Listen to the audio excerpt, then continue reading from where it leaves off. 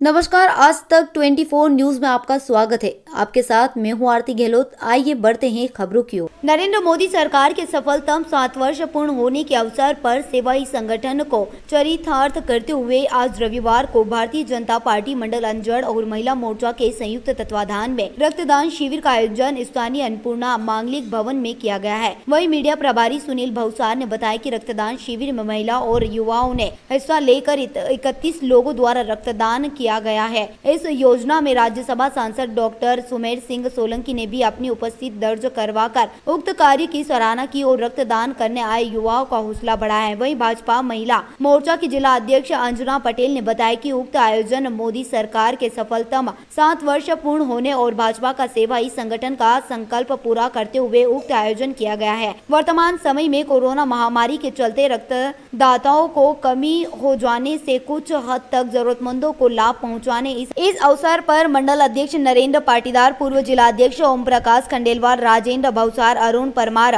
महामंत्री ललित पाटीदार और शरद पटेल पार्षद राकेश पाटीदार और कुलदीप पाटीदार विनोद भवसार हरि किशन कुशवाहा सुनीता सेन गौरव जोशी हरिओम राठौड़ शैलेश पाटीदार सहित कई कार्यकर्ता मौजूद रहे हैं। अंजना शरद पटेल।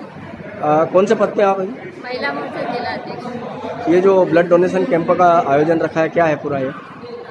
जो रक्तदान शिविर रखा गया है, ये भारतीय जनता पार्टी मोदी सरकार के सात वर्ष पूर्ण होने पर सेवा ही संगठन के अंतर्गत रक्तदान शिविर लगाया गया है और अभी कोरोना काल में रक्त की बहुत कमी चल रही है।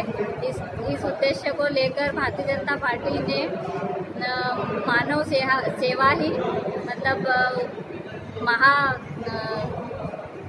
मानव सेवा ही परम धर्म है। इस उद्देश्य को लेकर ये रक्तदान शिविर आयोजित किया गया है। कितने लोगों का लक्ष्य रखा गया है?